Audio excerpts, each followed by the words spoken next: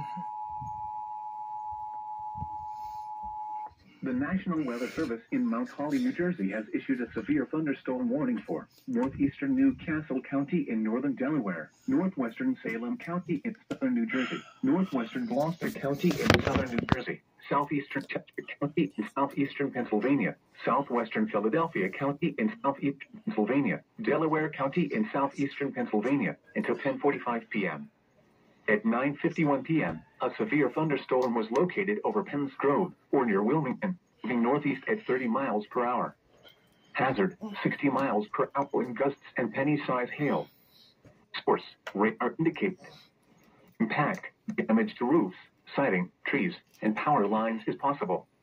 Locations impacted include Philadelphia, Wilmington, Chester, Deptford, West Deptford, Pennsville, Yeadon, Woodbury, Carneys Point, Swarthmore, Elsmere, Paulsboro, New Castle, Ant Grove, Salem, Westville, Woodstown, and Woodbury Heights.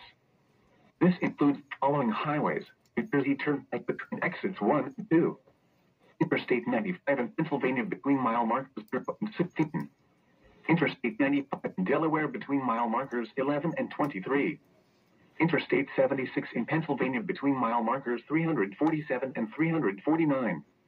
Interstate 295 in New Jersey between mile marker 0 and 25.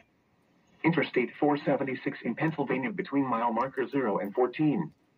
For your protection, move to an interior room on the lowest floor of a building. In addition to hail and damaging winds, frequent cloud to ground lightning is occurring with this storm. Move indoors immediately.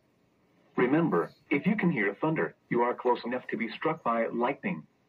Repeating, a severe thunderstorm warning has been issued until 10:45 p.m. for the following counties in Pennsylvania, Chester, Delaware and Philadelphia, and New Castle, Delaware, and